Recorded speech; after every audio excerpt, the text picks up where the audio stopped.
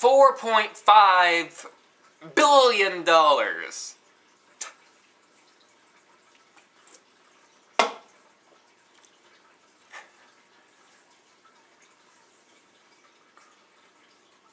For those of you who don't know, I've, I know I've said this phrase a hundred times over. I am a huge, huge Star Wars fan. Four, five, and, four, five, and six are pieces of cinematic brilliance. And then when the, pre- when the prequels came out, I watched them all. I've watched every single one of those in theaters, and I'm not ashamed to say I and I had an amazing time watching one, two, and three with my father. Me and my dad watched all three of all three of those movies premiere night in the theaters. I was eight when episode one came out, and I loved it. Growing up, I became more cinema cinema savvy, and I know what's right, what's wrong, and I know Phantom Menace is terrible there's not a second, there's not a frame of that movie that's not a betrayal to the franchise. The, all three of the prequel movies, George Lucas missed the point of his own franchise. That is so sad. And the, the day it dawned on me, I don't remember when it was, it was probably a couple, a couple years after episode 3, it dawned on me that this is, this is bad. This is terrible. Episodes 1, 2, and 3 are complete betrayals to the whole franchise. They don't add up. They don't retell a story in a different light. They, they make Darth Vader. Darth Vader, like, number two on cinema's most, like, badass villains of all time. They, they make him a whiny kid. No. You, I, I don't want to ramble on for hours about why the prequels suck. Because I could. I could go on for days. But, bottom line, Episode 3 kind of drew the line on live action Star Wars movies. It, despite what people say about 1, 2, and 3, it is the rest of the story. The story's told. Uh, one episodes 1 through 6, the story is told. Uh, you can't go forward, you can't go backward. At least not with that timeline. Uh, $4.5 billion. For those of you who don't know, Disney, the company Disney, yes, they bought LucasArts. Uh, George Lucas, the creator of Star Wars, is a retired man. He's gotten old, He's unhealthy. The fans have had knives at his back for years over the prequels. And I do pity the guy. Despite how much I hate him, I do pity him. Because it must feel awful having millions and millions of nerds hate your guts. Like, and I'm not just saying that, it's true. Uh, George Lucas really got the shaft on he missed the point of his franchise, and that is his fault. He's retired now. And a part of me is really sad about it. Despite how much you may hate you you might hate and loathe the guy, he still brought us the original Star Wars trilogy. Cinematic brilliance. The Star Wars the original Star Wars franchise. And you can never take that away from him. And sure, you can argue he was really only ever behind episode 4. 5 and 6 were just his ideas with different directors and writers. He's still the creator. He still created those movies. 4, 5, and, Star Wars is known for 4, 5, and 6. 1, 2, and 3, psh, if they never existed, no one would care. 4, 5, and 6, directors kill themselves and die wishing that they could make movies that had that big of a cult phenomenon. And with Lucas retired, there's a hole in my heart. I'm not gonna lie. Uh, and I don't remember the person that bought this, like, LucasArts. But Disney is now the, cre- owner of Star Wars. Disney. Happiest place on earth? That feels wrong to me. It, it, it, it just feels wrong. Uh, I, I, I can't pinpoint why exactly. I mean, Disney's had their hands in Star Wars for years. Um, they they have the ride at Disney World called us um, Star Tours, which is basically a, a, a virtual computerized ride that you sit in, you watch a screen, take you through space, the Star Wars galaxy. It's like hosted by C-3PO. It's Disney. If anyone was gonna buy LucasArts, it was gonna be Disney. The fact that Star Wars is now going to open up with the castle and not the THX LucasArts ordeal is I, I, I just don't it doesn't feel right. Uh and I I know I'm always about innovation and I I never want Star Wars to die. And I love Disney. Disney is a great company. They've given us millions of memories.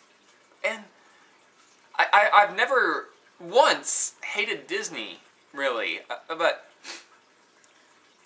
but the point I really want to make about this is that there is a new movie coming out. A new live-action Star Wars movie coming out. 2015. And it's gonna be the officially licensed episodes 7, 8, and 9. There are novels of Star Wars 7, 8, and 9, each featuring Luke Skywalker, Han Solo, Chewbacca, Princess Leia. They're all there. This is not gonna be those movies. Um, have you seen them lately? Mark Hamill Carrie Fisher, Harrison Ford, they're old. Like, I, I and I'm not just saying that to be like mean. They're old. Like they cannot do the stunts that they did in the original days and or the original Star Wars days. They cannot do that again. And if people think for a second that they're gonna be in seven, eight, and nine, you could not be more wrong. Seven, eight, and nine are gonna be in sequel to the original to the original trilogy, but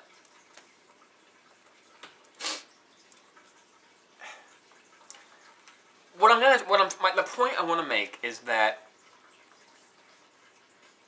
as hard as it is for me to say, with Lucas's retirement and the original Star Wars trilogy being the gold mine that it is, the merchandising, the fan fiction, everything those three films stand on their own. The prequels are there in case people want to know the backstory. People do. Episodes 1 through 6 are one story. It is told, it is done. You can't go forward, you can't go backward. That story is there, and it's not going anywhere. And within that, those six films, those six live-action Star Wars films, the story is told. That's Star Wars.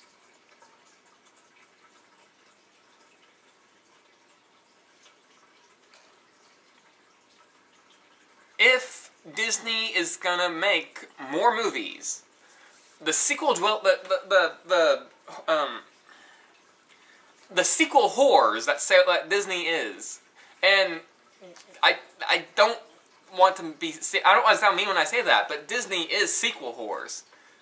If if if it exists, there's gonna make a they're gonna make a sequel about it. Like Lion King three is in the works right now. Uh, Cinderella four, um, Pirates of the Caribbean five is in the making. Disney will do whatever it takes to make sequels. We could be up to Star Wars Episode 20. The way I see it, Star Wars is dead along the lines of a cinema, cinema experience. Star Wars 1 through 6 is Star Wars. That is the Star Wars. If Disney's gonna make more of them,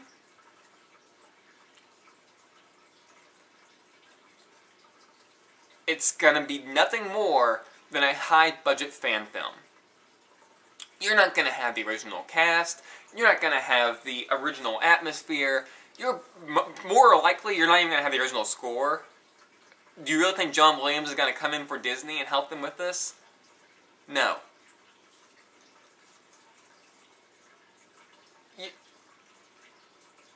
the effects will probably be there. Disney Disney already works with ILM, but Star Wars is dead along the lines of a live action cinema experience. You have the Clone Wars, you have millions of books. Those are still Star Wars, but they're not the six movies. The official Episode 7 movie by Disney? The more Star Wars, there's going to be a lot of them. You know that there's going to be at least a 7, 8, and 9. There's going to be a new trilogy of Star Wars films by Disney. But it's not. It's not Star Wars. At least not in this sense. All it's going to be is a series of really high budget fan films. You can't. Am I, I, am I making sense? The Star Wars story is told. All you can do is add on stuff that no one cares about. At least not in the sense of the original story. All it's gonna be is a series of new characters, new adventures, possible callbacks to the old days, but it's not gonna be the same at all. You're gonna have lightsabers, you're gonna have blasters, you're gonna have space battles. Yes, that's Star Wars, but it's not the characters that we love. You know it's gonna be all new characters. And it's all the bottom line, I simply don't care. And that is saying a lot from someone like me. Star Wars is what is my life. That is my childhood, is what Star Wars is. And the fact of me saying I simply don't care, that's saying a lot, because I really don't. I'll go see him. Everybody in the world is gonna go see him. You, there could be Star Wars film, like every Star Wars film that comes out, people are gonna go see. Uh, the Clone Wars movie, I wanted to go see opening day because I was curious. Sure, it wasn't great, but it was Star Wars. Episode 7 by Disney, it's gonna say Star Wars on it. We're gonna go see it. But it's not this. It's it's it's not Star Wars. Star Wars died a long time ago, from the cinema standpoint. All this is gonna be is a high budget fan film. I hope I make sense. I, and honestly, I'm not mad. Uh, in, in fact, I, am kind of I'm kind of grateful that you know Lucas is retired. He's putting he's putting his franchise, his best-selling franchise, into the hands of a higher studio. And Disney's gonna do with Star Wars what they will. They're gonna bend it, they're gonna merchandise it, they're gonna make billions of dollars off of it. But Star Wars is now a Disney. Star Wars is now a Disney production. That, that feels so wrong to say. But it is. Princess Leia is now a Disney princess. Um, the princess that's gonna be in the in this next Star Wars film is gonna be a Disney princess. The, the merchandising is gonna be galore. There's gonna be so much stuff. Disney has bought Star Wars, and they're gonna make millions of dollars on their own fan films.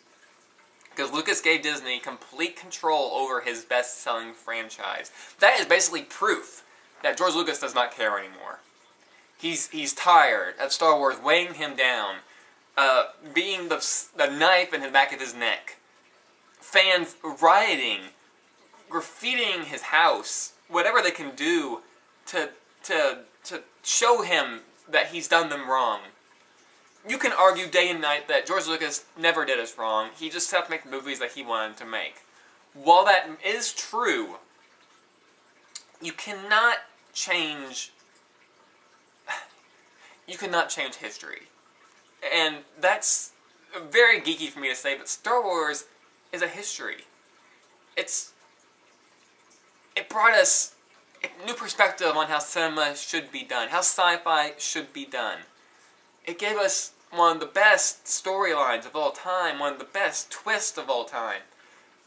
And the fact that Lucas just didn't care, and he made three more films just for his own budget, it's insulting.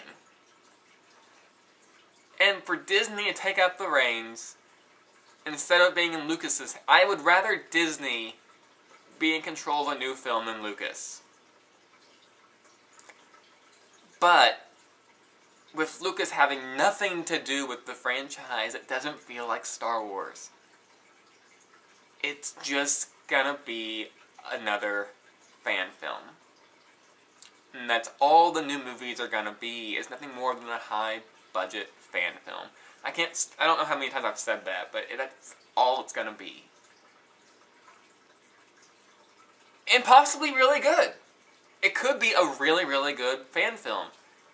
It, it, it could be, like, it could be saga altering.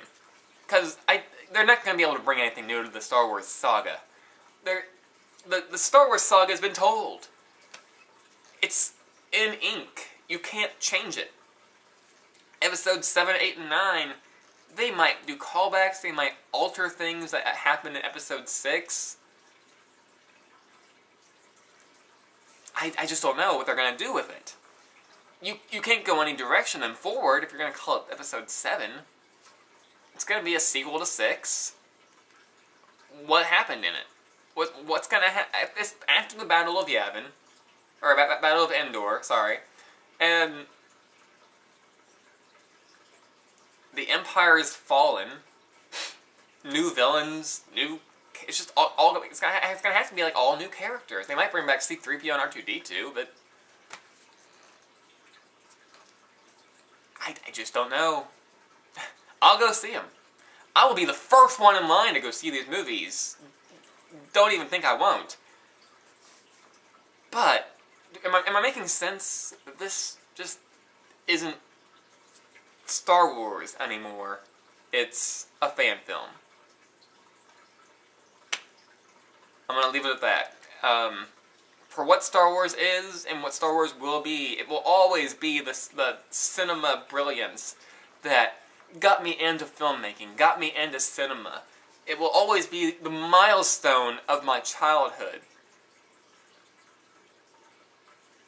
And Star Wars will never die. Star Wars, the original trilogy, will never die. The prequels as hanging on by a string as they are, they will never die. Episodes 7, 8, and 9,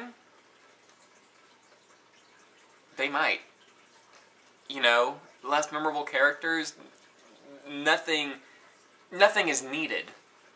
Uh, you can't do a sequel to, to, to 6 because the characters are too old.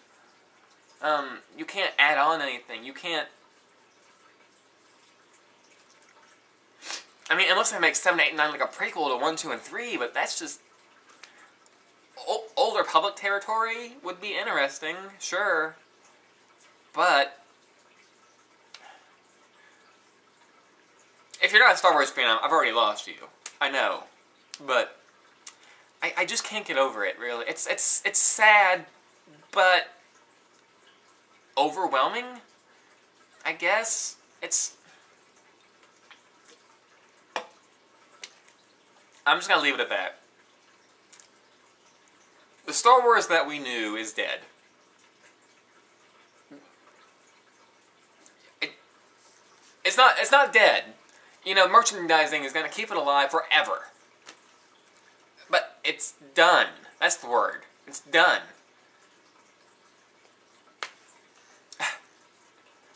Two thousand fifteen, Star Wars Episode Seven comes out in theaters, and I'll be the first one in line. Don't don't even don't even doubt that.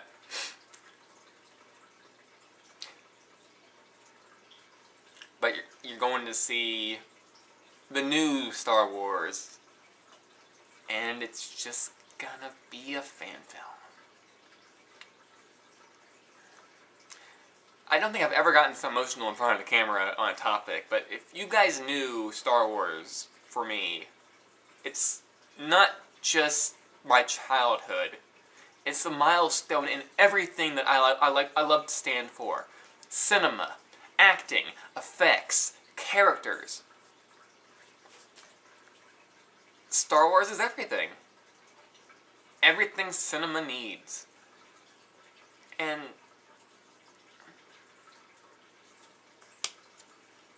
I've rambled on way too long, but just know everybody, fans and new fans to come, Star Wars will never die. At least not in that sense. You still have your you still have your original trilogy, you still have your prequels. Hate them, love them, you still have them. And it makes a story. If you guys want to see more stories to come, don't worry, they're on their way. Love them, hate them. They might not be around forever. But you'll always have the original trilogy. That's all I can say about this. So this is Sketchy Reporter out, and I hope that you guys got my point. And for all you fanboys out there, never let Star Wars leave your heart. Never. May the Force be with you.